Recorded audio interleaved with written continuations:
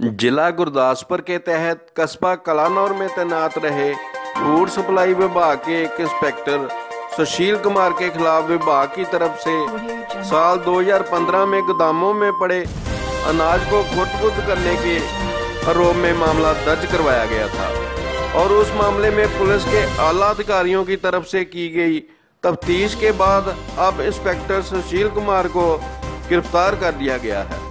इस मामले में जानकारी देते हुए एसपी हरविंदर सिंह ने बताया कि सुशील कुमार वासी गाँव रामपुर, जो कि फ़ूड सप्लाई विभाग में इंस्पेक्टर के तौर पर नौकरी पर तैनात था और कस्बा कलानौर में ड्यूटी कर रहा था, की तरफ़ से करीब चार करोड़ उन्नीस लाख इक्यासी हज़ार नौ सौ तिरवंजा रुपये की राशि की गेहूँ और चावल को खुर्द किया है और इस संबंध में थाना कलानौर में सुशील कुमार के खिलाफ धारा 409, 420, 406 आईपीसी के तहत केस दर्ज कर इंस्पेक्टर सुशील कुमार को गिरफ़्तार कर दिया गया है और आगे की कानूनी कार्रवाई की जा रही है।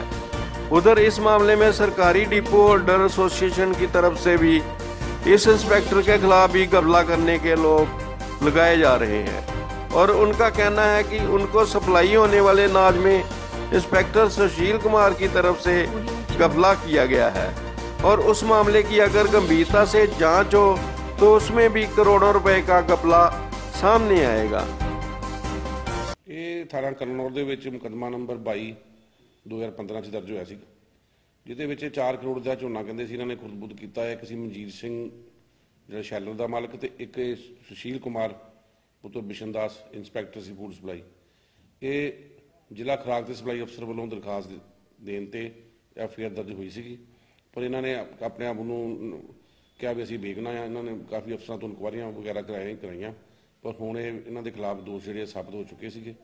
ਕਿਉਂਕਿ ਇਹਦੇ ਵਿੱਚ ਪੁਲਿਸ ਨੂੰ ਬੜੀ ਵਧੀਆ ਸਫਲਤਾ ਮਿਲੀ ਹੈ ਕਿ 15 ਦਾ ਸਾਡਾ ਦੋਸ਼ੀ ਜਿਹੜਾ ਸੀਗਾ, ਉਹਨੂੰ ਇੰਸਪੈਕਟਰ ਮੱਖਣ ਸਿੰਘ ਰਾਣੇ ਦੀ ਪਾਰਟੀ ਨੇ ਐਸਐਚਓ ਨੇ, ਜਿਹੜਾ ਇਹਨੂੰ ਗ੍ਰਿਫਤਾਰ ਕਰ ਲਿਆ। ਬਾਕੀ ਇਹ ਪੁਲਿਸ ਦੇ ਕੋਲ ਰਗਾਨ ਪੇਸ਼ ਕਰਕੇ ਰਿਮਾਂਡ ਲੈ ਕੇ ਹੋਰ ਵੀ ਜਿਹੜੇ ਦੋਸ਼ੀ ਇਹਦੇ ਚ ਫੜਨ ਵਾਲੇ ਆ, ਉਹਨਾਂ ਨੂੰ ਵੀ ਫੜਿਆ ਜਾਊਗਾ। ਇਹ 4 ਕਰੋੜ ਦਾ ਕਮਲਾ ਸੀਗਾ ਜੀ, ਝੋਨੇ ਦਾ। ਕਲਾ ਨੂੰ ਡਿਪੂ ਹੋਲਡ ਯੂਨੀਅਨ ਦਾ ਪ੍ਰਧਾਨ ਆ। ਮੇਰੇ ਦੋ ਡਿਪੂ ਨੇ, ਇੱਕ ਫਾਦਰ ਸਾਹਿਬ ਦੇ ਨਾਂ, ਇੱਕ ਮਿਸੀ ਦੇ ਨਾਂ, ਤੇ ਯੂਨੀਅਨ ਮੈਨੂੰ ਪ੍ਰਧਾਨ ਬਣਾਇਆ ਗਿਆ ਵਾ। ਇਹ ਜੇ ਸੁਸ਼ੀਲ ਕੁਮਾਰ ਸੈਣੀ ਨੇ ਨਾ ਕਲਾਨੌਰ ਦੇ ਵਿੱਚ ਕਣਕ ਦਾ ਬਹੁਤ ਵੱਡਾ ਕਪਲਾ ਕੀਤਾ ਹੋਇਆ ਵਾ। ਕਰੋੜਾਂ ਦਾ ਕਪਲਾ ਵਾ ਕਿ ਅਸੀਂ ਬਾਰ-ਬਾਰ ਮਹਿਕਮੇ ਨੂੰ ਚਿੱਠੀਆਂ ਲਿਖ ਲੈ ਕੇ, ਪੇਸ਼ ਹੋ ਕੇ ਇਹਦੀ ਇਨਕੁਆਰੀ ਬਾਰੇ ਕੀਤਾ, ਪਰ ਮਹਿਕਮੇ ਨੇ ਅਜੇ ਤੱਕ ਕੋਈ ਕੁਝ ਨਹੀਂ ਕੀਤਾ। ਇਹ 1250 ਕੁਇੰਟਲ ਕਣਕ ਬਕਾਇਆ ਸੀ ਕਲਾਨੌਰ ਦੀ, ਉਹ ਵੀ ਇਹ ਖਾ ਗਿਆ। ਡੀਪੂ ਹੋਲਡਰਾਂ ਦੇ ਪੈਸੇ ਵੀ ਖਾ ਗਿਆ ਇਹ। ਤੇ ਮੇਰੇ ਕੋ ਵੀ 1 ਲੱਖ ਰੁਪਇਆ ਨਗਦ ਲਿਆ ਕੇ ਖਾ ਗਿਆ ਵਾ। ਕਿ ਸਾਡਾ ਇਹਨਾਂ ਫੈਸਲਾ ਹੋਇਆ ਸੀ ਕਿ ਮੈਂ ਪੈਸੇ ਮੋੜ ਦਿਆਂਗਾ ਪਰ ਇਹਨੇ ਪੈਸੇ ਅਜੇ ਤੱਕ ਨਹੀਂ ਮੋੜੇ। ਨੰਬਰ 2 ਇਹਨੇ ਹਰ ਜਗ੍ਹਾ ਠੱਗੀ ਮਾਰੀ ਹੈ। ਕੁਮਾਨ ਦੇ ਵਿੱਚ ਵੀ ਇਹ ਸੈਂਟਰ ਤੇ ਲੱਗਾ ਰਿਹਾ, ਉੱਥੇ ਵੀ ਇੱਥੇ ਪਰਚਾ ਹੋਇਆ ਵਾ। ਕੱਲ ਮਨਜੀਤ ਸਿੰਘ ਦੋਸਤਪੁਰ ਸ਼ੈਲਰ ਵਾਲੇ ਨੇ ਇੱਥੇ ਕਰਾਇਆ ਸੀ। ਉੱਥੇ ਵੀ 4-5 ਕਰੋੜ ਦੀ ਇਹਨੇ ਠੱਗੀ ਮਾਰੀ ਹੈ ਤੇ ਇਹ ਬੰਦਾ ਬਹੁਤ ਹੀ ਕਰਪਟ ਹੈ। ਫੜਿਆ ਗਿਆ ਵਾ, ਅਸੀਂ ਇਹ ਵੀ ਚਾਹੁੰਦੇ ਆ ਕਿ ਇਹਦੀ ਇਨਕੁਆਰੀ, ਕਣਕ ਦੀ ਵੀ ਇਨਕੁਆਰੀ ਕੀਤੀ ਜਾਏ, ਕਿੰਨੀ ਕਿੰਨੀ ਕਣਕ ਦੀ ਇਹਨੇ ਵੇਚੀ ਆ। ਤੇ ਇੱਕ ਇਹਨੇ ਕਲਾ ਨੋਟ ਦੇ ਵਿੱਚ ਆਪਣੇ ਚਾਚੇ ਦੇ ਮੁੰਡੇ ਦੇ ਨਾਂ, K K Kanaiya and company, trading company ਦੇ ਨਾਂ ਜਾਲੀ ਫਰਮ ਖੋਲੀ ਸੀ। ਉਹਦੇ ਵਿੱਚ ਕਣਕਾਂ ਦੀਆਂ ਪਰਚੇਜਾਂ, ਜਾਲੀ ਪਰਚੇਜਾਂ ਪਾਉਂਦੀਆਂ ਉਹਦੇ ਸਬੂਤ ਸਾਡੇ ਕੋਲ ਹੈਗੇ ਨੇ। ਕਿ ਜਿਹੜੀ ਡਿਪੂਆਂ ਦੀ ਕਣਕ ਹੀ ਉਹ ਇੱਧਰ ਵੇਚੀ ਜਾਂਦਾ ਸੀ।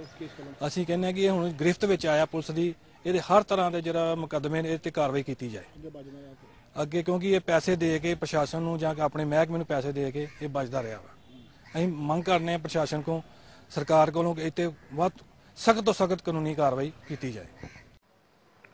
ਕਲਾਨੌਰ ਸੇ ਇਕਬਾਲ ਵਾਲੀਆ ਕੇ ਸਾਥ ਵਿਸ਼ੰਬਰ ਬਿੱਟੂ, ਦਿਵਿਆ ਪੰਜਾਬ ਟੀਵੀ, ਗੁਰਦਾਸਪੁਰ।